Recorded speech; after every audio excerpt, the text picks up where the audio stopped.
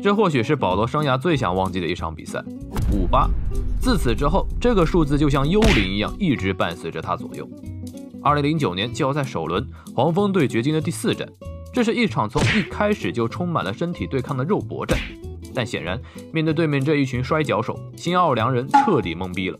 波西的肘区单打被帽，佩贾大空位三分三不沾，甚至连保罗也跟丢了魂似的，面对这样的错位机会也抓不住。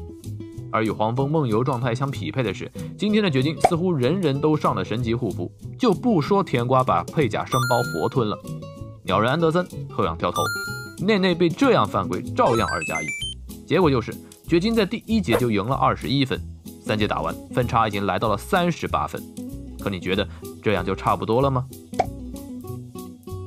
第四节，皮特森三分三不沾，丹尼尔斯转移传给了第三排的观众。当对面投进这记底角三分之后，黄蜂竟然在最后三分钟落后对手整整一倍的分差。此时此刻，不仅观众早就坐不住了，连现场解说员都怒了。